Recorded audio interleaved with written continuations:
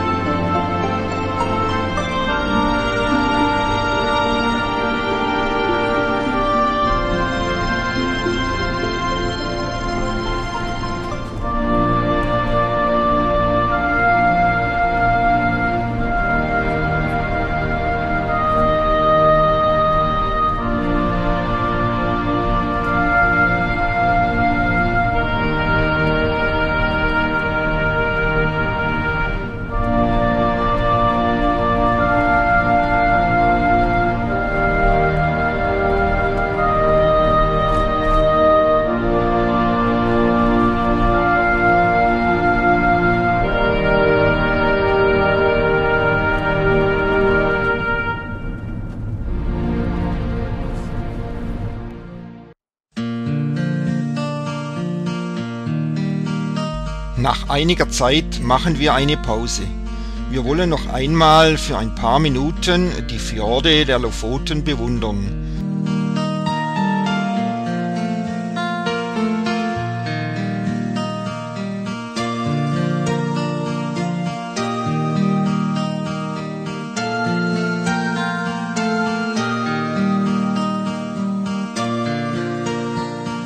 Die wohl spektakulärsten Zeugen der letzten Eiszeit sind die Fjorde an der norwegischen Küste. Steil steigen die Felswände empor. Die Meeresbuchten können teilweise kilometerweit ins Landesinnere reichen. Der Golfstrom sorgt an dieser Küste Norwegens für ausgesprochene angenehme Temperaturen und so mancher Fjord bleibt im Winter eisfrei.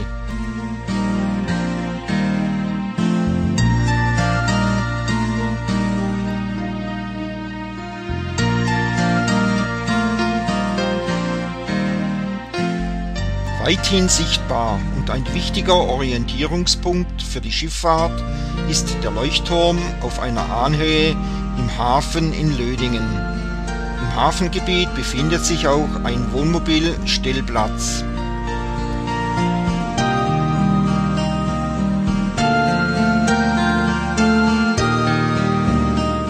In Lödingen befindet sich eine Fischfabrik, an deren Kai gerade ein Fischerkahn von seiner Fracht befreit wird.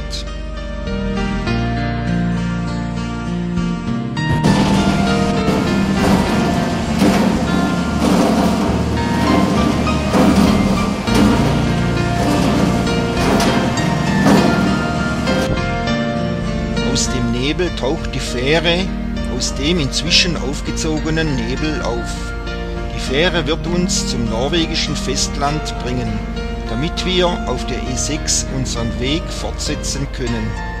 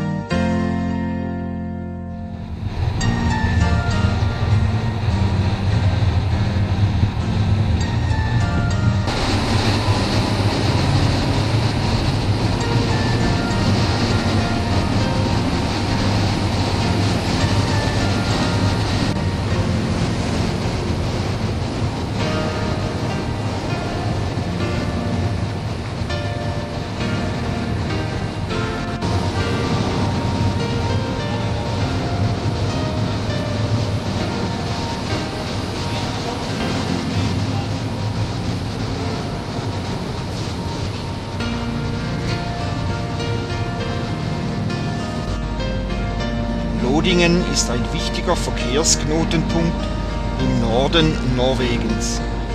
Der Fährbetrieb aufs Festland nach Bognes erfolgt ganzjährig und rund um die Uhr. Die Fahrt über den Fjord dauert etwa ungefähr eine Stunde.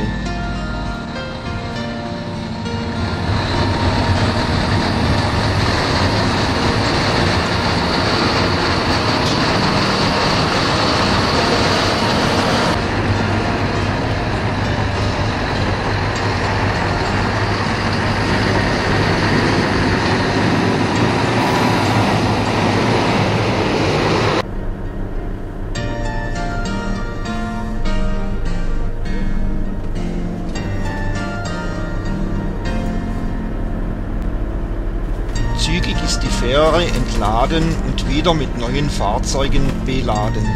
Und unverzüglich geht es wieder auf See, damit der Fahrplan im Einstundentakt eingehalten werden kann.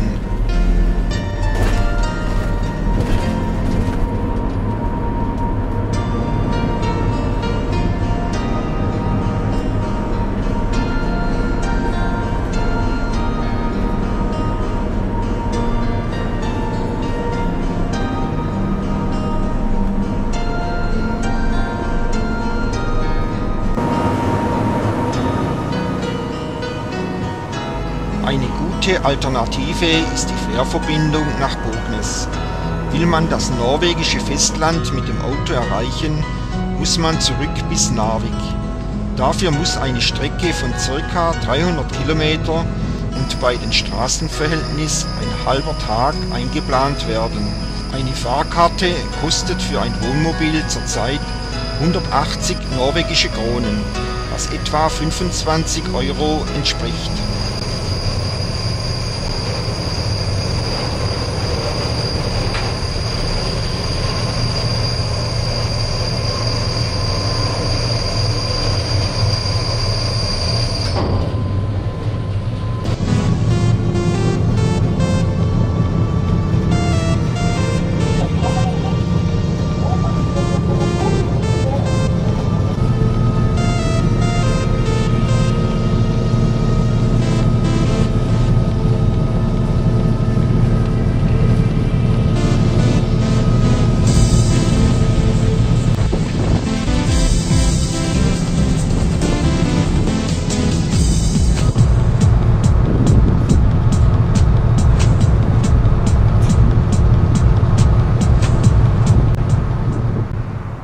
Befinden uns inzwischen auf dem norwegischen Festland und blicken noch einmal zurück in die Landschaft, in welcher wir 14 Tage verbrachten und die wildromantische Seite der Lofoten kennenlernen durften.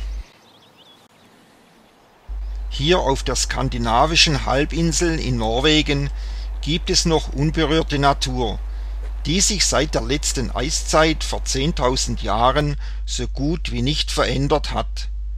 Das Gewicht und die Bewegung der Eismassen hat die Landschaft in vielen Teilen wesentlich mitgestaltet. Nach dem Wegschmelzen der Eismassen hob sich das Land um ungefähr 800 Meter in die Höhe. Heute noch ist die Erhebung nicht abgeschlossen und Norwegens Küste hebt sich heute noch um etwa ein Zentimeter jährlich. In den elf Jahren unseres 21. Jahrhunderts sind das schon zehn Zentimeter. Ältere, früher am Strand stehende Fischerhütten oder Bootsstege liegen zum Teil schon weit landeinwärts. Die in Norwegen spät einsetzende Schneeschmelze kann sich bis weit in den Juli hineinziehen. Da das Land großflächig mit Wäldern und Moosflächen bedeckt ist, führen die Bäche und Flüsse das ganze Jahr reichlich Wasser mit sich. Diese Wassermassen speisen tausende bizarre Wasserfälle